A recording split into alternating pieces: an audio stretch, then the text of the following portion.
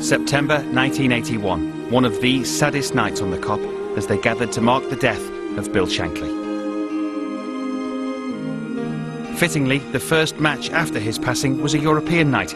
It was an occasion for the Kop to pay their respects to the man who'd done so much to make them what they were.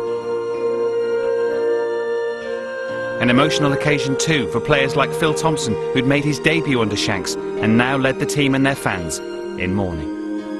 Four days later, John Toshack paid his own tribute to the great man before the First Division game against Swansea.